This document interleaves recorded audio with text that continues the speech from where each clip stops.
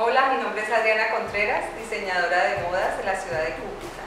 Desde el año pasado hicimos una alianza con Puntos Aparte para que nuestro showroom hiciera parte del escenario de las obras de arte del argentino Marcelo Brodsky. Aquí vimos todo el trabajo de este gran artista en el cual eh, lo proyectamos por más de un mes en nuestras instalaciones.